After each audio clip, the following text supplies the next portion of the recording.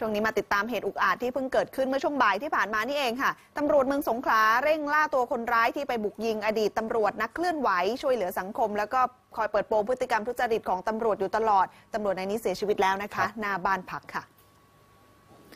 เหตุคนร้ายใช้อาวุธปืนพกสั้น บุกยิงร้อยตำรวจเอกวชริน เบญจทศวรรษอายุ 48 ปี อดีตรองสารวัตรกองกำกับการสืบสวนตำรวจภูธรจังหวัดสงขลา เสียชีวิตภายในรถยนต์ เหตุเกิดเมื่อช่วงบ่ายค่ะขณะร้อยตำรวจเอกวชรินขับรถเข้ามาจอดหน้าบ้านพัก คนร้ายได้สาดกระสุนใส่รถทำให้ร้อยตำรวจเอกถูกกระสุน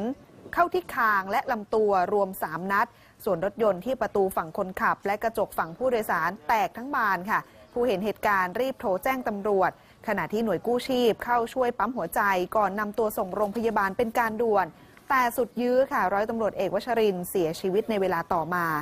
ในพื้นที่เกิดเหตุตำรวจยังคงกั้นพื้นที่ค่ะ ห้ามผู้เกี่ยวข้องเข้าไป ขณะที่เบาะแสคนร้ายคาดว่ามีด้วยกัน 2 คน ใช้รถยนต์วีออสสีดำทะเบียน 2515 ไม่ทราบหมวดอักษรและจังหวัด ขับตามรถของร้อยตำรวจเอกวชรินมาห่างๆ เมื่อสบโอกาสจังหวะที่ร้อยตำรวจเอกวชรินมาจอดรถหน้าบ้าน คุยโทรศัพท์อยู่หน้าบ้านอยู่เลยนะคะ มือปืนได้ลงจากรถมากระหน่ำยิง และรีบวิ่งขึ้นรถหลบไป เจ้าหน้าที่จึงเร่งแกะรอยภาพจากกล้องวงจรปิด เพื่อหาเบาะแสคนร้ายค่ะ ส่วนสาเหตุค่ะยังไม่มีใครยืนยันแน่ชัด แต่ก็คาดว่าอาจจะเกิดจากร้อยตำรวจเอกวัชรินทร์ร่วมกลุ่มทนายอาสา ออกมาช่วยเหลือด้านคดีอาญาให้กับผู้เสียหายที่ไม่ได้รับความเป็นธรรมในทุกคดี โดยเฉพาะที่เกี่ยวกับตำรวจ รวมทั้งชอบไลฟ์เฟซบุ๊กแชร์พฤติกรรมตำรวจที่ตั้งด่านรีดไถหรือตรวจปัสสาวะยัดข้อหา และคดีอื่น ๆ ที่ตำรวจมีพฤติกรรมเข้าข่ายกระทำความผิด ทั้งเรื่องส่วนตัวแล้วก็หน้าที่การงานเนี่ยค่ะคุณจามอนคุณผู้ชม นี่คือโพสต์สุดท้าย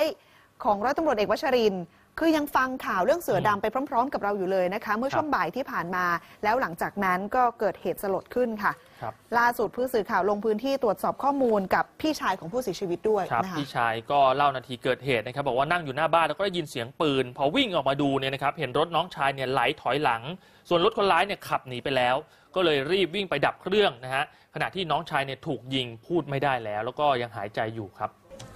ได้ได้ยินเสียงปืนนะครับได้ยินเสียงปืนก็วิ่งออกมาดู ก็เห็นรถน้องอะถอยหลังอยู่ ก็วิ่งตามไปที่รถ ส่วนคนร้ายก็หลังจากนั้นก็หลังจากยิงเสร็จคนร้ายก็ขับรถหนีไปเลยครับไม่ไม่ทันเห็นรถคนร้าย แต่ว่าป้ายทะเบียนก็จำหมายเลขได้ก็ก็ไม่ทราบว่าจะเป็นป้ายจริงหรือเปล่าส่วนคนเจ็บอยู่ยังไงครับตอนนั้นเท่าที่ก็เห็ น่าจะอยู่ไม่สามารถพูดได้ครับไม่สามารถพูดได้ แต่ว่าหายใจอยู่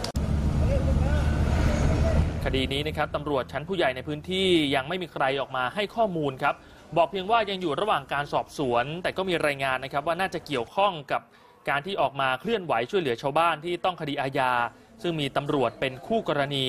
คดีล่าสุดคือการฟ้องร้องนายตำรวจยศพันตำรวจเอก มีเรื่องชู้สาวกับภรรยานักธุรกิจอสังหาริมทรัพย์ และวันนี้ศาลนัดไต่สวนคู่กรณีนะครับ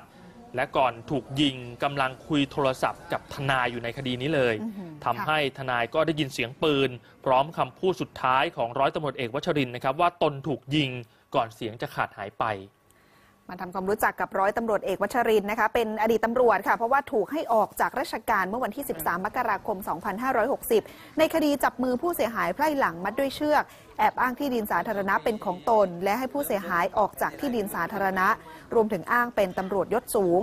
ในชั้นศาลร้อยตำรวจเอกวชรินร์รับสารภาพถูกตัดสินจำคุก 6 เดือน ปรับ 3,000 บาท ส่วนผู้บังคับบัญชาได้ตั้งกรรมการสอบสวน ก่อนมีคำสั่งปลดออกจากราชการ จากนั้นเลยผันตัวเองมาแฉวงการทุจริต และประพฤติมิชอบของตำรวจค่ะ ใน Facebook ยังเขียนประวัติสั้น ๆ ของตัวเองอยู่เลยนะคะ บอกว่าผมเดินทางมาไกลไกลเกินที่จะอดทนต่อการรีดไถ แต่สุดท้ายก็มาจบชีวิตที่หน้าบ้านของตนเองวันนี้ค่ะ ใครพอจะมีเบาะแสนะครับวีออสสีดำทะเบียน 2515ค่ะนะฮะก็เข้าให้การกับตำรวจได้นะครับ